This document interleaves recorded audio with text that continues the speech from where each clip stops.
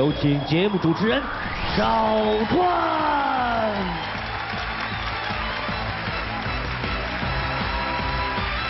谢谢谢谢现场的观众朋友们，谢谢大家，欢迎电视机前的观众朋友走进天津卫视的大型情感节目《爱情保卫战》，他们是著名的评论人于博宏于老师，欢迎于老师。大家的老朋友，来自华谊嘉信的高级副总裁曲伟曲老师，欢迎曲老师。还有你们的爱情导师涂磊涂老师，欢迎涂老师。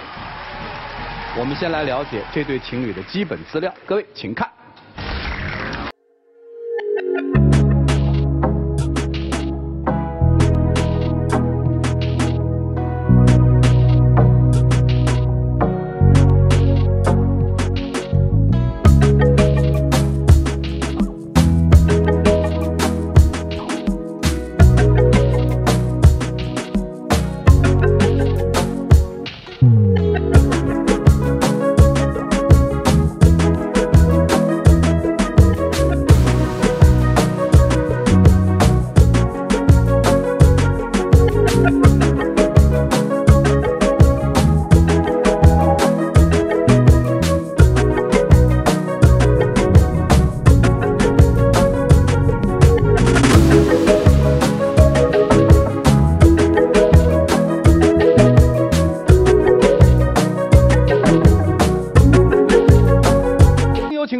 声有请。男嘉宾小程，二十三岁，来自河北，是一名职员；女嘉宾小任，二十三岁，来自河南，是一名职员。来，有请两位，有请。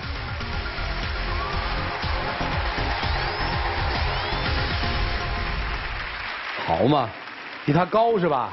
嗯，是，谁要来的？是我要来的。为什么呀？因为他现在要跟我分手，但是我不想分。哦哟，求不分手哈。因为他现在太任性了，你知道吗？所有事都得依着他来，他没不是人家不就姓任吗？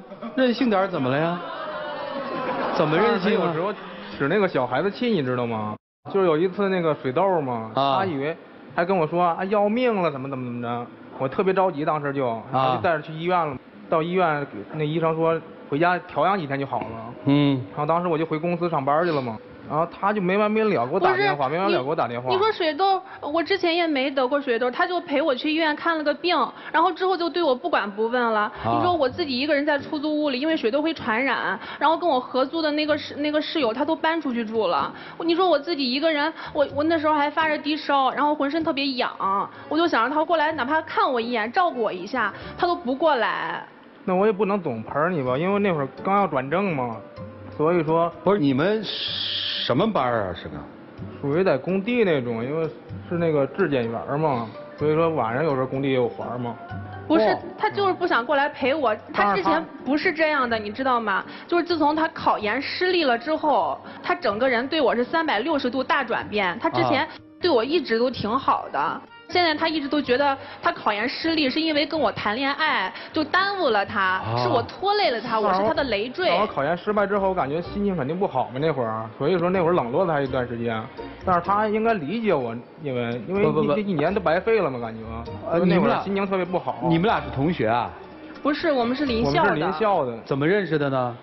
嗯，当时是因为大二的时候，大二啊嗯对我俩在同一个餐厅做兼职，刚开始还不认识，就后来有一次我和那个客人发生争执了，就是他有点看不过去了，就过来帮我解了围。啊然后但是因为这个事儿，就是那个老板把他给把他给开了因为。客人投诉嘛，所以老板当时把我炒掉了。啊，英雄救美啊，算是啊对，啊，嗯就这么来，什么叫算是哈？然后我就觉得挺对不起他的，啊然后之后我就又找了一份工作，啊就也是兼职，然后我就打电话给他叫过来了，后来就在一起，因为是临校，上下班也挺方便的，后来慢慢就产生英雄。救美，因为那会儿还没对象嘛，所以说啊感觉他这人挺善良大方的，长得也还可以嘛。还可以啊，还当时就追求了他嘛，啊他也就同意了，慢慢就发展了两年多的爱情。嗯，好，刚才这女生说你考研没考上，对对对是吧？他怪他吗就是因为考研的事怪我。啊，你怪他干嘛？我感觉应该也有你的因素。有他啥因素啊？考研一年，他总是黏着我嘛，因为考研也不是特别简单嘛，感觉。因为一什么叫年的时间，她总是黏着你啊？他当时总是找我嘛，因为考研也要复习的嘛。你复习你的呀？但他总是去那儿黏着我，去自习室他也去找我。不是，是因为他因为他之前学习一直都挺好，就是在学校还拿奖学金什么的。但是因为我我比较笨嘛，然后嗯，他他觉得他考研就是失败了，对他打击特别大，对父母没法交代。啊。然后他就说，呃，就是因为我太黏着他了，然后我浪费他时间，之后就对我特别冷淡。啊。那就算了呗，都对你冷了，你还为什么非要黏着人家呢？后来他他他考研失败了，他就他不考了，但是他又想了一出，你知道吗？他说他要出国，这个事儿我是后知后觉才知道的，他出国也是为了提高我自己啊啊，他提高自己，对咱们俩的以后的感情不是更好吗？那你说你出国了，你肯定是想甩掉我，咱俩就散了呀？为什么说为什么你这么认为呢？什么逻辑？为什么出国就必须得甩掉你呢？你说你我感觉那爱情没有距离。你说你出国那么远，我整天见不着你，看不着你的，我想你了怎么办呀？那你也回不来呀。那我有我的想法，你得支持我呀在这一点上。我就必须得天天黏在你身边嘛？然后呢？就那时候，他因为出国得考雅思嘛，啊，然后他就嗯白天因为他那那会儿是实习，然后晚上，然后他去新东方做那个兼职助教，就可以一边学英语，然后就考雅思嘛。我白天其实是也要实习上班的，但是我晚上的时候就会去他住的地方，就会去等他回来，呃，有时候会给他洗洗衣服呀，做做饭什么的，但他还嫌弃我。雅思没过吧？去肯定不方便，因为在外边租的房嘛，里边都是大小伙子啊。然后她一女生，白天晚上都去那。你告诉我是不是雅思没过？是没过。又怪她了吧？没她的话，雅思早过了吧？对，他是吧，兄弟？也不都是这原因吧？切，自己意志力不坚强，怪人家你说？然后他就一直觉得是我太任性了，是我呃，反正就是自从考研之后，包括出国这个事儿，嗯，都一直都怪我。但是我一直挺喜欢他的，因为我觉得，嗯，他长得也挺壮的。对，我也难得听一个女生说喜欢长得壮的，这倒挺好的。啊，因为我个子也高嘛，可以保护我是吧？他那时候还去健身房练肌肉什么的。啊。然后他这个人不注重外表，他一件衣服能穿好久。我觉得他这个人可朴实了，我觉对他反正就挺喜欢，之前一直挺好的。啊。然后后来。嗯，大四快毕业的时候，我父母让我回老家，啊，嗯，说是在老家那边工作。我看资料上你是河南是吧？啊，对，我河南的。啊。然后我就说我在这边天津有个男朋友，我想和他一块在天津奋斗。啊。然后我父母就说，哎，那我过来看看他，就是给我把把关，看看这个人到底怎么样，就是因为刚毕业嘛，我感觉见父母有点早。你没见？因为。之前跟他商量了嘛，我感觉现在见父母还是确实有点早。啊，不是，我又没说就让他见父母就立马结婚我现在还没准备好，你说现在就见父母，因为刚毕业嘛，所以说，父母还是稍微感觉稍微有点早了。你觉得你一无所有，但是我并不嫌弃你啊，我就让父母把把关，又没说立马要结婚。你这么想，我作为男方，你说我怎么想？啊，行吧，我得有我这方面的考虑。他就推三阻四的一直不见，然后我就我就骗他，我说。嗯，那个在公司楼下中午下来和我吃个饭，然后就把我父母给带去了。呀，你让你父母是多没脸呐，姑娘。后来呢？然后就他也没准备，反正就挺不愉快的这次见面。啊。然后见了之后，我肯定对他印象不好嘛。啊。然后就让我回去，还给我安排相亲。我就为这事跟父母闹特别僵。这些事一直其实我压力挺大的，我都没敢都没跟他说，他都不知道这些事儿。嗯，上杆子。上杆子一定不是买卖，现在女生也是哈，一点都不矜持，就非得那个什么，你那么喜欢他呀？不是，他之前对我真的挺好的。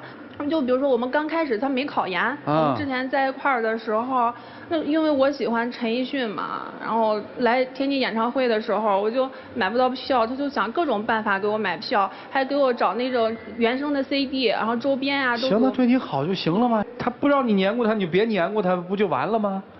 不是，关键现在他想跟我分手。哦，要分手了。然后他有时候特别任性。啊，你举个例子说说。尤其就是上次那水痘那事嘛。啊。就是我没陪他嘛。啊。他就把那事挑到那我们那人事那块去了，说我也得水痘了。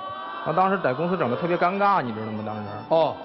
你去他单位了？就是给单位打打的电话没有去他单位，就是因为当时我一直叫他，他不过来，我就一直给他打电话，一直打电话，他就是不接。我打了好多电话，就手机都快打爆了，他就是不接。然后我想没办没没没必要把咱们私人感情放在工作上面来吧。我想方设法就找到了他们人事部的电话，然后就就举报他，就说他得水痘了。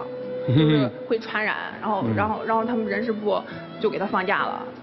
然后他陪你了吗？没有。要我我也不陪啊！你去哪儿了？我当时一直在宿舍这待着呢呗，因为我特别生气，因为个人感情的事没必要放在工作上嘛。嗯。我觉得这就是你越来越不在乎我了，现在。那我在乎你就必须天天的在你身边陪着你，是吗？这就是男生觉得要跟他分手的一个理由，是吗？就是的，平时特别任性，而而且有一次就是过生日嘛。谁过生日？他过生日啊。然后他非得拍什么婚纱照啊。完过生日我已经给他准备好其他礼物了嘛，为什么非得拍婚纱照呢？不是，就因为那时候我已经感觉到他越来越对我不上心了，我就想说，以前各种礼物都送过了，我说就拍个婚纱照，然后记录一下。记录啥呀？就看一下他对我的态度，就有没有结婚的打算，然后。测试。嗯，也可以这样说。哦。然后当时因为我没跟他拍婚纱照嘛，他还故意气我，就之前大三。故意气你什么意思？对啊，之前大三的时候不是经经常拍出去拍那个礼仪模特儿啊，然后之前我就反对他这个嘛。后来他就不做了嘛，然后后来就是因为这件事又继续出去拍这个礼仪模特儿，他给我发照片。好，做就做呗，礼仪模特也没什么呀。但是我感觉挺反感的，因为我的女朋友我不想叫她去做这个呀。那就跟人照婚纱照呗。那当时我就同意跟他照婚纱照了，因为我不想照了。照了。你也够没原则的。因为我不想再跟他继续闹下去了，因为照不都照了，你还怎么着啊？啊，对啊，那就如我所愿了，我就觉得。照完之后，但是也也是我瞒着我发到我的朋友圈上面去，当时家人跟朋友。都特别那个，就炸开锅了呗。那我觉得你结婚了，我们都不知道是怎么回事啊。照一个多好的事，你发朋友圈，那大家肯定会祝福咱们家，没有人会去质问你啊，是不是？不是，是你发的。啊。发你朋友圈。发他。那那会儿我都不知道哈。你干嘛发？哦，是你拿他手机发他的朋友圈。我一个一个又跟人解释。哦呀呀呀！尤其我那哥们儿跟家里人，哎，你这结婚了怎么怎么什么情况啊？对呀，特别激动，当时你知道吗？对对对，大家都傻了是吧？对呀，尤其你爸妈是吧？爸妈肯定，对你爸妈说，哎呦，你看我儿子多出息啊，结婚了。对呀，那也挺好的。你说我，当然你，姑娘你长点心吧。不是，照结婚照多好的一件事，大家看到都会祝福是吧？谁会质问你是不是？但是，咱俩现在只是男女朋友关系，在我朋友圈发这个，你，你让我怎么怎么解释啊？这个。你还干过什么荒唐事儿？你告诉我们吧，一股脑你都说完吧你。没有。没有啊，没了，就这些事儿了啊。还没有，就是还有一次什么两周年纪念日他也要过呀，就那次不是忘了吗？啊。他就跟我没完没了闹，就是什么生日啊、情人节我都给他过。啊。那次可能工作加班儿忘了，然后跟没完没了的闹。啊。然后那那次我就骂了他嘛。你骂了他？对，骂他什么呀？说有点生气那会儿。你说，你说平时的节假日也就算了，那两周年结婚纪念日。两周年结婚纪念日，你是多想结婚的孩子？你看看，结婚都要疯啊！这是，来来来，两周年结婚纪念日，说往下说。就那个两周年。就人家没给你过，怎么了？啊。然后他，呃，然后我就我他。然后他骂了你。我跟他说了，他也没表示。他骂我，你知道他骂我，他骂我矫情，说我作，说我整天不思进取，不求上进，就知道拖他的后腿啊，说的倒也没什么累赘，特别错，你知道吗？真的是骂骂我都骂哭了。哦，哭了，哎呀，然后你呢？然后我们就冷战，就冷战了一个一个多星期，他也没理我。之前他还会哄我的，后来没理我。我当我那段时间心情挺不好的，因为之前就有一个男同学追我，追的挺厉害的，追追了我一年多。没有，我是我没说你有，我就是啊一下。然后呢？我是那个我这样，我想气气他嘛。就那段时间，我有时候会找那个男同学倾诉一下，就故意发一些我俩的合照到朋友圈，就我想。那你纯粹是跟我在示威吗？你哪是气？我呀！我明白是气一下。明显当时那会儿俩人都特别特别难受，他发这种图片给我。啊！我就想气一下他，他就过来找我了。结果人家直接打电话，什么都不问，直接跟我说要分手，我就特别。你那会儿我特别生气，你知道吗？啊，挺伤心的，对吧？对呀，我以为他这啊找好备胎了，然后把我当什么了？这是。啊！你是你是知道的，之前他一直追我这个人，你是知道我不喜欢他的，那为什么还要这样做呢？不就是想挽回你吗？那你当时没必要发那样的图片吧？什么样的图片？就是他俩一起吃饭呀什么的。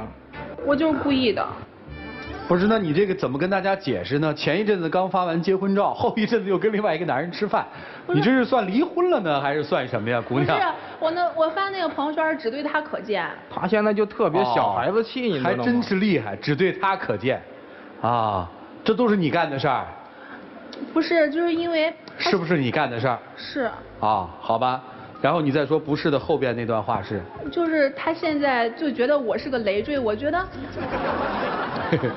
我就是不想和他分手。哦，就是不想分。嗯。因为我。他要就跟你分手的话，你怎么办？那我这不就是过来找你们？啊，还是不太想跟他分，是吗？就毕竟两年也挺不容易的。啊，明白。我感觉他一点都不成熟，现在，就特别小孩子气。你追人家的时候，人家成熟吗？他一直知道我就是这样的。对呀，那你那会儿追人家？那会儿在校园里，现在都已经工作了，应该成熟一点都感觉。怎么成熟嘛？而且他，并不体谅我干什么，他都不支持我，老叫我天天陪着他。大男人不可能天天老陪着女友吧？听见没有？大男人不可能老天天陪着你。刚追的时候天天陪吧。那会儿是 那会儿是小男人是吧？现在咱长大了对吗？也不是这个意思嘛。你个臭小子，没别人吧？啊，没有。没变心吧？啊，现在就是感觉我们俩之间沟通可能有问题，就不知道该怎么跟他说，是吧？我感觉一直应该一直我在迁就他。不是，他现在特别烦我，他说的轻，你知道吗？他真的特别烦我，就就对我特别的你都能感觉到他烦你了啊？那你还不走？我也不知道你们是怎么想的，我是不懂啊。你们看看怎么办吧。来，一起进入丘比特问卷。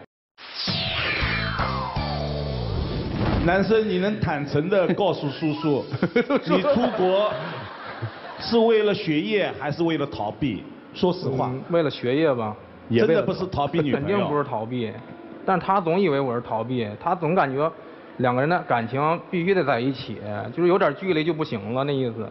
你可能和这个女生是初恋吧？对对对，我看出来了，因为他真的没有感情，我还是挺认真的。因为你确实。因为是初恋没有经验，所以你没有处理好爱情和学业的关系，所以导致了你的学业下滑了。那么这一个，我认为不能完全怪他，你自己也有责任。对我自己肯定也有责任。爱情这一个东西有时候也蛮神奇，你处理得好，对你的学业、工作、生活它是一种动力；如果处理不好，你会成为一种负担。像你这样一次考研你都承受不了失败，孤身一人到了国外，挫折风险更多更大，你承受得了吗？如果你不是逃避，你对自己的这个出国可能还是要慎重的把握一下。另外，作为女孩，我们也淋漓尽致的感受到了你的作、你的幼稚和你的任性，我也绝对相信。你对这个男孩的感情肯定是九十九点九九的纯金和百分之一百的纯情，但是你不知道用怎样的一种方式、怎样的一种心态去爱这个男人。你的这一些行为，我认为还不能用个作就可以涵盖的，有的是相当的过度。比如说你给他公司打的那一个谎报的电话。你可能会把他前程都毁掉。这样的病有传染，不告诉公司，不告诉同事，还在工作，你认为这个性质严重吗？另外，你把追求你的男生和你的合照发到了朋友圈，虽然他一个人看到，你有没有考虑过他的感受？在感情问题上，男人是经不起刺激的。不要说是一个初恋的男生，我一个老男人我都经受不了。我爱人如果今天发这样的图片，我节目都不录，我飞回去。其实就是吃个饭，也没有特别亲密那种。你这一种行为，在他眼里，他不认为你是在刺激他，他会认为这是真实的。爱一个男人，我们不能用这样的一种方式，这样的方式最后你收获的。肯定是痛苦。男孩，我问你一句，你们在刚开始谈恋爱的那段时间，就是在你考研之前，她也是这么任性吗？之前还是挺单纯的一个女孩，并没有那么任性。你知道她为什么突然变得任性了吗？可能工作之后那种爱情跟校园又不一样了嘛，因为校园时基本没有什么班可上嘛，多时间陪她嘛。所以这才是真正的关键点。现在和以前不一样，这种不一样，女孩敏感的察觉到，她做的所有的这些事情，其实都是想把它改变。而你告诉我们，在你的人生规划里头，有她吗？有。说实话。有。如果是有的话，你刚才明明说出国是为了要提高自己，对。你考研其实也是为了自己，你在这两件事情上。有他吗？有，真有吗？我感觉两个人的爱情、面包爱情都得有。但是你在阶段，你在阶段里面是把你的自己的前途放在了第一位。在你有出国这个念头之前，有没有跟姑娘商量过？没有，她瞒着我的。瞒着你。因为那会儿所以你拿什么说在你这个规划里头有她呢？不光没有，你心理素质还很不好。你是接受不了失败的，这仅仅是挫折的开始啊！当你从学生时代转换到职场的时候，接触社会的时候，你所面临的失败会越来越多。所有的困难之下，你都要找原因吗？不先看自己吗？打上台之后，你就一直哭丧着脸。我不认为女生做的很多事情都是那么的无理，里面其实透着很多的小可爱，只有你体会不到。因为你你的心已经不是当时的那份心。想想，如果在热恋的时候，一个女孩想跟你去照结婚照，你是何等的幸福啊！而且你还不见她的父母。所有的现实表明，你对这个女孩不是那么上心了，你的心在变了。所以我觉得你们索性啊，你们就摆明了谈今后的规划，是否能在一条路上走，是不是一个方向？如果明确了方向，如果她的心就在国外。你有没有可能去？如果没有可能去的话，那你们何必谈这场没有任何希望的恋爱呢？这个最近微信朋友圈里面说一事儿，说在中国还是哪个地方有一个那个动物园，这动物园的那个老虎的那个区域送进了一只山羊。让人很奇妙的是，这老虎没把那山羊给吃了，也没欺负它。倒是跟那个山羊非常亲密的在一起，腻腻歪歪，而且过了三个月之后吧，这山羊重了三十斤，而且这个山羊非常的过分，经常占着虎穴不让虎睡觉，而且还经常爬在老虎的头上。但是过了两个月之后，也就是他们爱情的蜜月期度过三个月之后，有一天老虎一巴掌把山羊拍到了山坡下面，这山羊还不知道。到底发生了什么？所以后来有人把这个故事引申为一个爱情故事的结语，说要告诉大家，爱情的力量虽然非常伟大，不同的物种都能够在一起恋爱，但是作要恰如其分，宠要适可而止。你知道你是那只山羊吧？啊？我我觉得我不是作。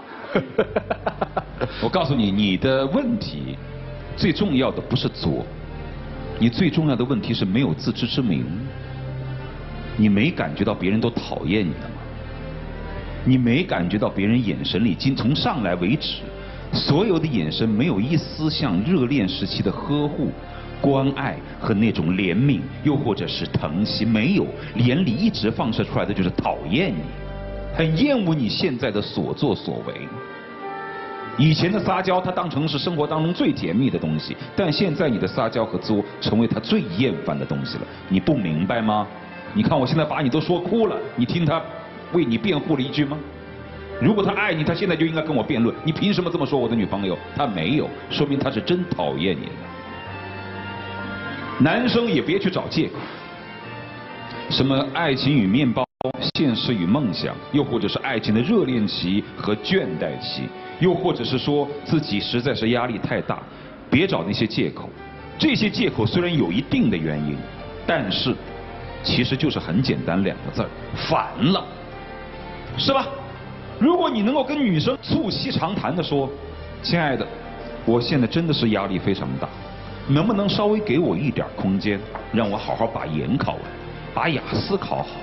我都是在为我们的未来考虑啊！如果你是这样非常理解性的、非常亲切的跟他交流，我不相信这个女人会没心没肺要骚扰你到那种地步。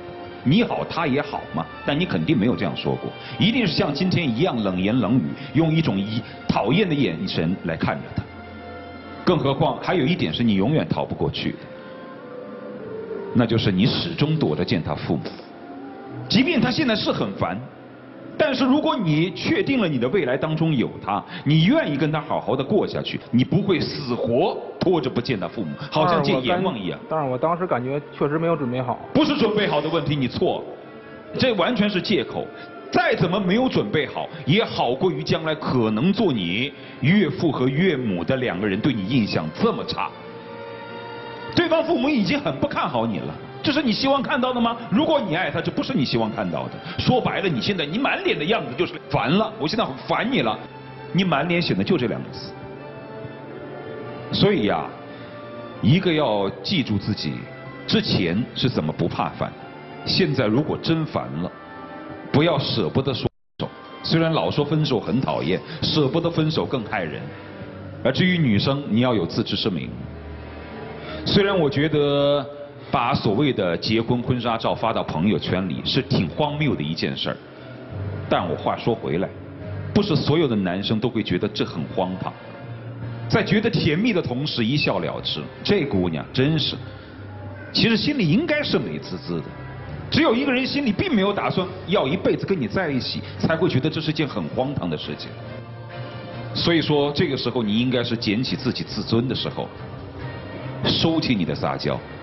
做回你作为女人的本分，好吗？就这样。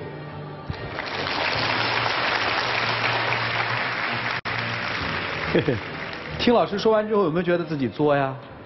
嗯，我还是觉得。有还是没有？有一点儿。有一点儿，只是一点点，对不对？嗯。我告诉你，爱你的男生一点都不觉得你是作。都爱死了，觉得太可爱了。作真的是没有标准。对，不是说一个女生哎，帮我系鞋带，背我，不是说这就是作。只要别人欣赏，怎么做都不过分。别人讨厌你了，你做什么都讨厌。没觉得作，但是他觉得，他要觉得就是作了，还不是作一点点，那就作大发。你也一样，好聚好散这个词儿懂吗？不爱就是不爱，你别跟人说这个呀。什么？我要出国？坦诚一些，女生，把头抬起来吧。那婚纱照还在吗？在。哎，你那婚纱照拍完以后，下次你再谈恋爱的时候，会会给你男朋友看吗？不会。万一你那男朋友发现你这婚纱照怎么办？不知道。不知道，没想过，单纯了不是？所以你看，从这点就说明人一心一意想嫁你，而你小子，可真没打算要娶她。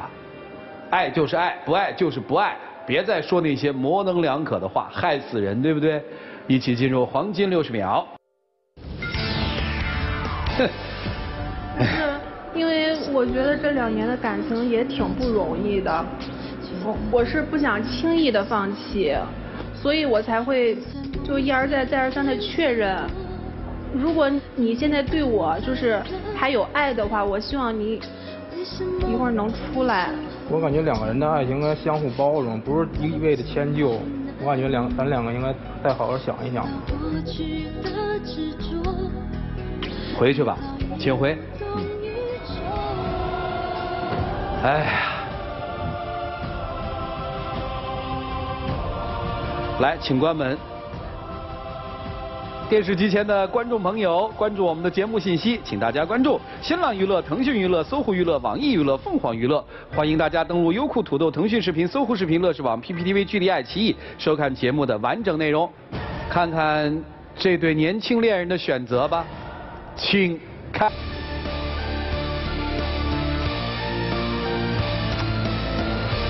傻孩子，来，姑娘。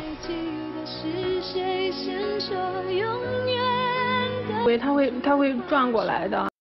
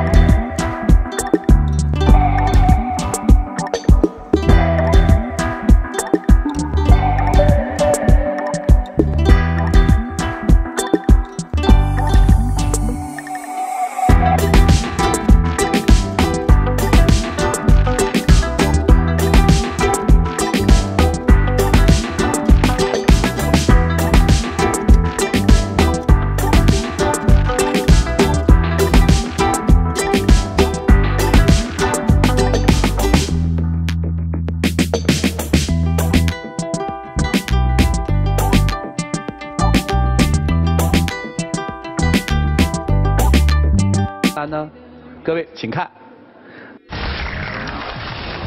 我俩在一起有一年多了，我觉得他这个人也太不懂得女孩了，不管什么事情都是我主动。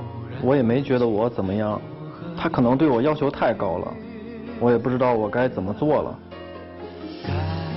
我觉得他能够试着改变也行，但是我也想办法让他多跟我的朋友交流，他也总是拒绝的太多。我也不知道为啥他动不动就跟我生气，我琢磨不明白。他也不跟我明说，老是莫名其妙的。我感觉我跟一个木头人在谈恋爱，得不到男朋友的一点关心，还要这样男朋友有什么用？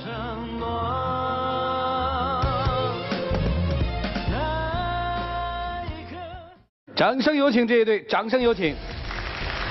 男嘉宾小叶，二十四岁，来自山西，工程师助理；女嘉宾小王，二十二岁，来自青海，是一名学生。来，有请，有请两位，有请。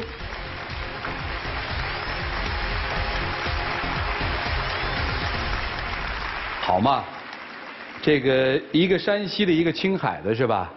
应该是在一起读书，对吧？嗯，就是出去一块吃饭，然后认识的。出去吃饭认识的？对，就是我们一起出去做兼职嘛，然后朋友一块出去认识的。谁追的谁啊？是他追的我。哦。你追的他？对。咋追的？就是朋友一块吃饭嘛，然后。就其实大家一块都挺闹腾的，就是该吃吃，该说说。然后我就看他一个人就坐在一边，也不跟人说话，就自己默默的吃。啊。然后我一看这个男生，就是我感觉挺秀气的那种，我就觉得对他感觉就挺好的。然后呢？然后我就问那个我朋友，就问他要微信嘛，然后就加上了，两个人就聊天，然后有时候约着出来一块吃饭。都是你主动？对。呃，追了多久就追到手了？嗯，两个多月吧。哎呀，被女生追是什么感觉呀？还可以啊，还可以，还可以是什么意思啊？一个臭小子 还可以啊，很享受是不是？今天谁要来的？我要来的。为啥？就是他现在这个态度，就是让我都弄不清楚，他到底是因为就是这个脾气性格一直就这样对我，还是因为他就是根本不喜欢我？哦。就是我感觉啥都要我主动，就特别木讷，就没有什么风趣。啊，就不懂风情，还不解风情，对，就什么都得我主动，就是特别累。什么都是你主动吗？对嘛，就是因为我还上学，他已经毕业了啊，他从来都没有主动打电话问我什么时候有时间带我出去，都是我给他打电话说，要不然你来找我吧，我们去吃饭，然后吃什么都得我得定。哎，谁买单？他买。哦，还好还好，好歹还买了单是吧，小子啊？为什么这样啊？不喜欢人家？不是呀，我感觉他喜欢吃什么就让他吃什么好了，我直接把钱给他就可以了。然后我点的他不一定他也喜欢吃啊。哦，你就喜欢默默坐在那儿吃是吧？不是，那你为什么这么对他呢？你想跟他一起吃饭吗？想吗？嗯。那你为什么不主动约他呢？他平时给我打电话，然后我有时候工作忙，然后他自己出去的时候，有时候他也不叫我，然后就。我我这么问问啊，姑娘，你告诉我，就第一次拉手是谁主动的？我。啊，是吗？不是你这个皱眉是几个意思啊？他就是觉得就是他老害羞，就感觉在路上两个人牵着手就觉得就他有脸红。牵手也脸红？对，就是就是第一次牵手嘛，然后我冬天就特别冷，十二月份那会儿我说。我就暗示他，我说我说好冷呀，我说手特别凉啊，然后去逛街，然后他他说个啥你知道吗？他说哦，那要不然我俩去那个商店里待会儿，身上暖和了，就手也暖和了。啊，说的挺实在。不是，我都那么暗示你了，我就意思就想让你拉着我的手给我暖一暖。那他说那就去商店里待一会儿，我当时就炸了，我就说，我我就说你你非得让我把什么话都说到明面上，然后你你才能做吗？我的意思就是想让你拉个我的手，就给我暖一暖。就那样，然后他才拉了我手，我就感觉特别不情愿。哦。就是还有接吻也是，晚上两个人就是吃完饭就溜达嘛。啊。晚上风景也比较好嘛，就是天也比较好。不光是我们，就是也有好多情侣都在那儿转嘛。然后我就看见就是旁边有一对情侣，就是演那个，嗯。啊，么么哒了。然后我我没有很暗示他，我就是就是靠着那个那个栏杆，然后我就闭着眼睛，我想他应该，我都这样，我觉得他应该能那个什么，然后我等了，我等了好长时间，我一睁开眼睛，人家在那玩手机呢。啊，然后呢？然后我问他，我说你干嘛呢？啊。他说我我我我这回微信呢。啊。我说你没瞅着我干啥吗？啊。他说你这不呼吸新鲜空气吗？啊。然后呢？我我我就不想跟他说话了，我就直接甩手我就走了。我说那你玩你手机吧，我说我走了。啊。然后他都不知道我为什么要生气。那最后怎么么么哒成功呢？嗯，他你主动吧。嗯。反正也算是，就是我暗示完了以后。然后他估计你不是暗示吧？你是不是跟那手一样就那么说了？你难道连这个都听不明白吗？是吧？嗯。初恋啊，初恋，初恋，初恋，啊，单纯。不过女孩那个那个暗示也太太隐晦了。我琢磨半天，如果换成我现场，我也不敢那个，我也玩手机。那你觉得他应该怎么暗示呢？你说一个吧。哎，哎呀，你看看，哎，我们那会儿那个比这差远了。啊，行行行行，总之就男生很很，让你觉得很啊，是吧？对，别扭。就是我俩可能也就好了将近一年，反正一年多了吧。啊。就是也有小的那种纪念日啊、小假期就是什么的，然后从来都没有送过我什么那种值得纪念的小礼物。从来都没有过。对。就什么都得我暗示他，你知道吗？就是我不说他就想不到点儿上。我就跟他说，我说那什么，我我朋友，她男朋友给她送了个口红，我说颜色特别好看。然后我就说，哦，我说我也挺喜欢的。然后他说，哦，他说那那个什么你喜欢多少钱呀？要不然你去买吧。他给你钱让你自己去买。对。我不是因为说我想要这个东西，我就说人家都有男朋友送的什么东西嘛，大家一块出去吃饭，哎，都拿着说啊，这是我男朋友送我的。然后就他都没有，我都没有办法说话。啊，明白。哎，我问你啊，你要跟他撒娇的话，或者说受了委屈了，你跟他倾诉的话，他会安慰你吗？嗯，我们有一次就是，就他要不惹生气的，然后他就哄我。啊。我就我俩发微信嘛，给他发了一个那个，就哭脸的表情。然后他就就是问我说，哎，你为什么要哭啊？说你别哭啊，什么，呃，你你要是不坚强，谁替你勇敢？你说的，啊，你不能替他勇敢吗？我感觉一个女孩嘛，自立自强一点比较好。自立自强一点比较好。不是，你是我男朋友。他说完这话，我真的是气儿不打一处来。啊。我简简直就像那个天打五雷轰一样。我说我说我是你女朋友，我说你这说的什么话？我说这是男朋友跟女朋友说的话吗？哎，那我问你，你们俩吵架吗？吵。就是我应该吵不起来吧？这小子不吵的。我一直在不得不得不得，我气得快要炸了。啊！就有一次我俩晚上吵架嘛，就给他打电话，我说行吧，我说不想跟你说话了，我说挂了电话，就把电话挂了。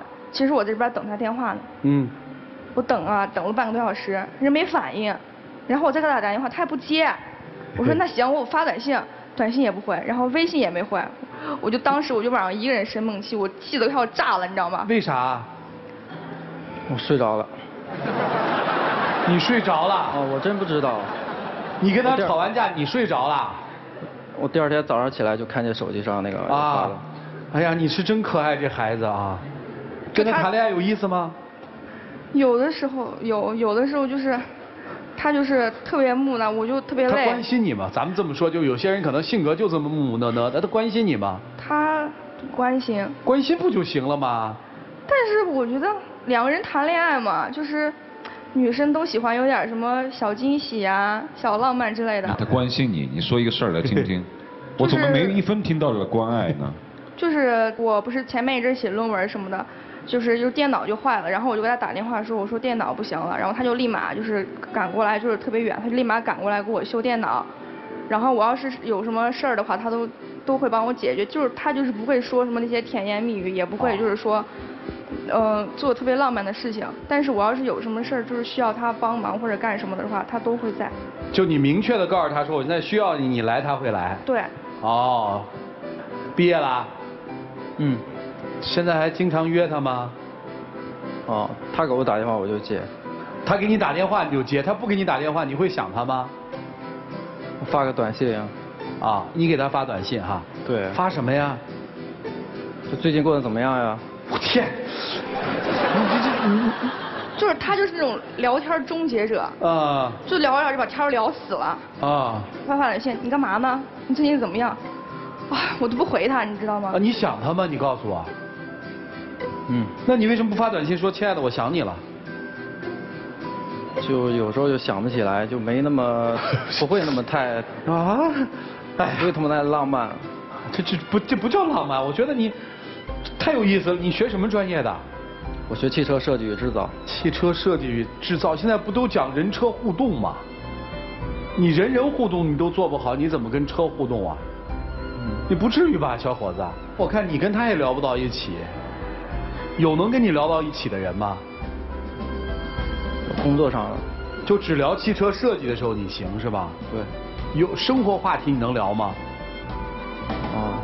你喜欢什么呀？喜欢汽车。喜欢车。对。喜欢游戏吗？不喜欢。喜欢车什么呢？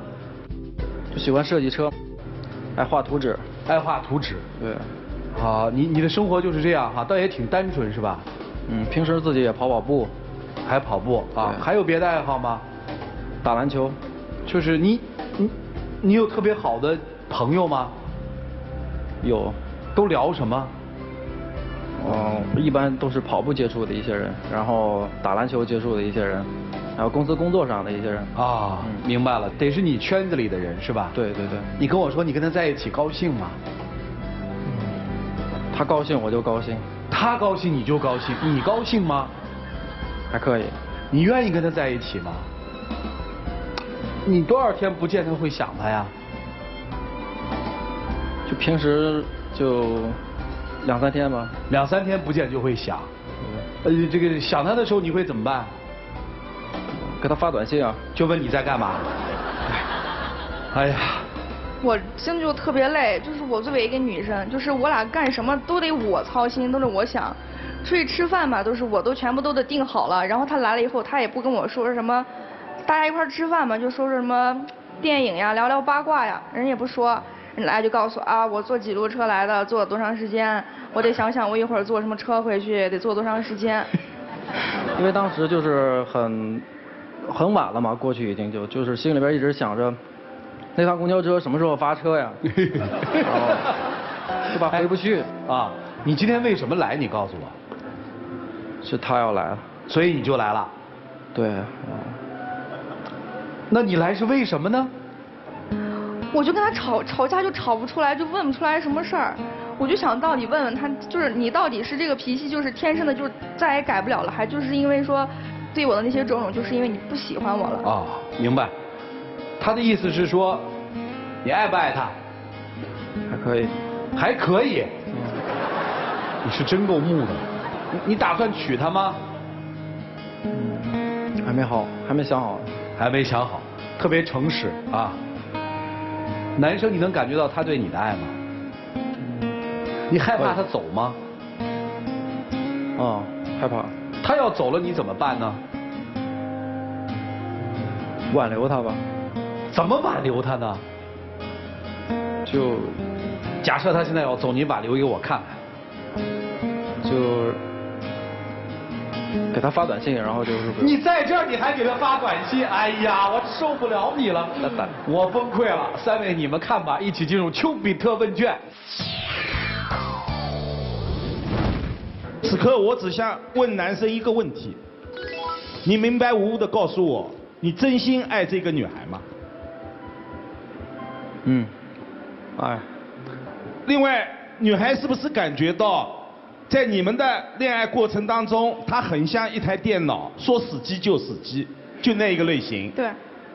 确实，你就刚才说的那一个桥段，女孩闭上眼睛等待着男朋友的吻，她却在低头玩手机。你今天就想了解一下，她是性格使然，还是故意为之？我的判断，他是前者，因为你们两个人。好之前，就是因为他非常有个性，非常另类的，在一个角落里自己默默的吃着饭，引起了你的注意，对吧？对。他就是这样的一个性格，他不善言谈，不愿主动，是自己精神世界当中的一个宅男，这是一种人的性格。当然，你认为这样的性格能不能为你做一些改变？我想不可能。人的性格有时候就伴随着人一辈子的。当然，也有一些女孩恰恰就喜欢这一款的男生。你认为他不解风情，但是可能在别的女孩眼里，他们认为他非常的纯真又非常的纯粹，他们就喜欢这一款。你承受不承受得了这样的一个男生？这需要你自己考量一下。好，谢谢谢谢波峰兄。呃，男生，你有没有想象过自己以后想找一什么样的女朋友？嗯，平时就能照顾家就行，照顾照顾一下我，就彼此互相照顾、互相理解吧。就是不需要激情的，是吧？你觉得想象当中的理想的女朋友，甚至今后的妻子，就是可以照顾你？对。呃，你觉得他可以照顾你吗？我再问你一个问题，就是你喜欢打篮球对不对？嗯。有时候经常我也打篮球吧，我们打篮球的时候可能大家互相都不认识，你会做过主动说哎咱们打场比赛吧？你做过这种事儿吗？有做过。一定。嗯。因为你想。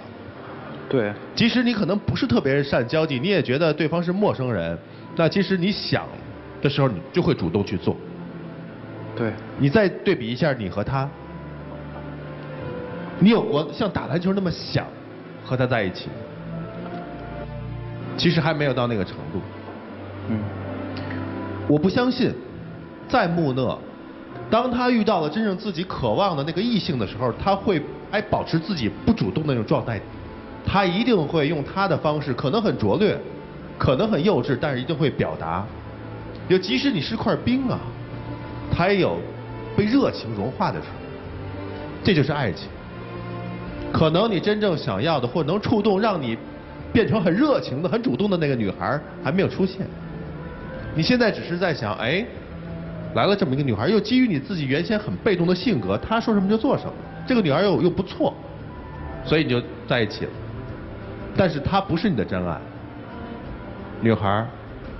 其实你看中的他那份所谓的与别的人不一样，不喜欢表达，你看中的就这一点，对不对？那怎么现在又受不了这一点了？他是否是你想要的那种人？或者说，你是否真正了解自己想要什么人？好像也不对。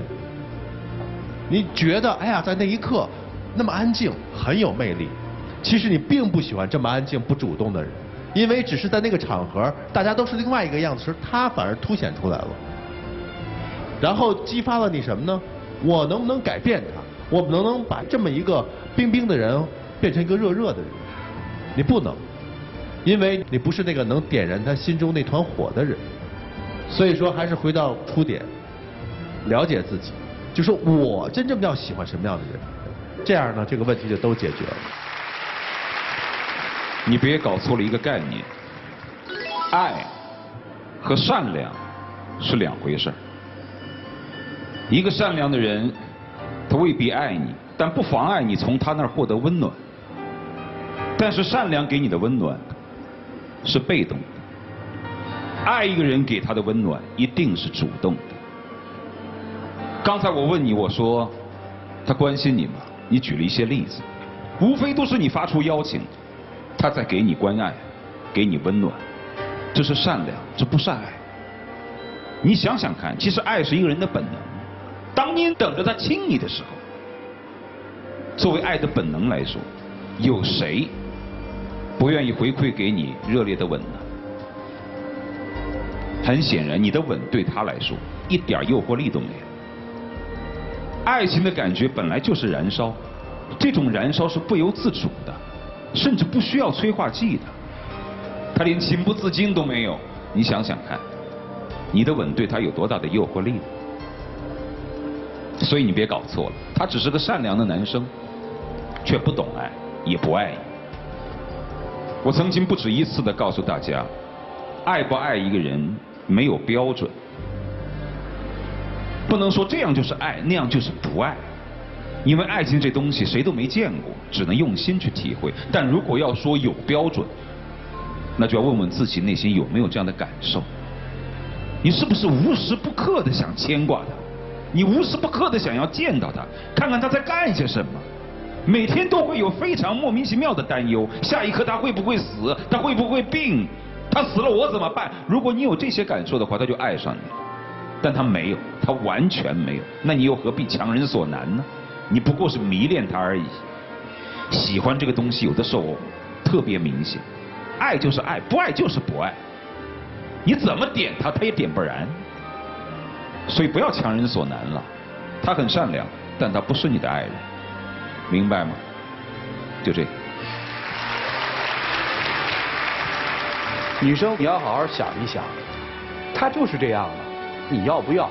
如果你觉得不幸福，你就走开，不要再纠结了，明白了吗？男生啊，坦诚一些，一会儿进去的时候好好想，是你不爱人家，还是你性格的一种表达，好吗？好了，时间留给你们，一起进入黄金六十秒。就是我觉得我现在真的特别累，我。我觉得每次都要我主动的话，我真的不知道我要怎么再继续跟你相处下去。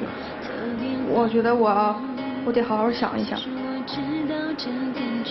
我的性格就是这种性格，你平时也是我木，然后我真的没办法迎合你。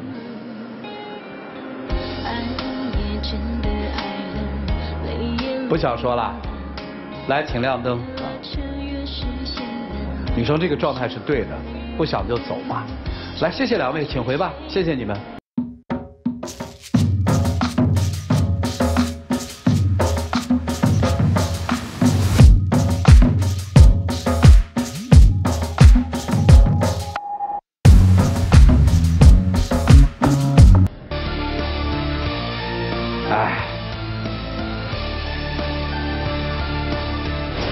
结局啊，好结局，好结局。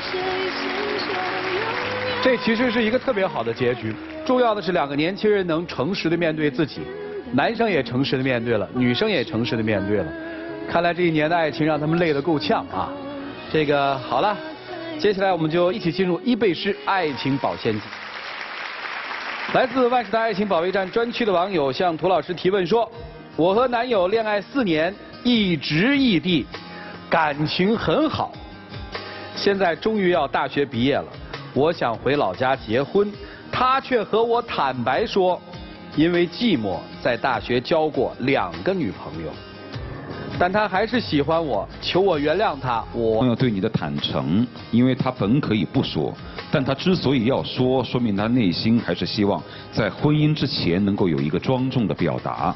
至于原不原谅他这两次的出轨，我只能告诉你，如果是我，我做不到。好，谢谢谢谢涂老师。我们的节目是由保湿护肤领先品牌伊贝诗要保湿伊贝诗伊贝诗防晒霜冠名播出的。如果你想参与我们的节目，可以关注伊贝诗的官方微信，或者到伊贝诗的线下销售网点进行报名。感谢电视机前观众朋友的收看和陪伴，我们下期节目再见。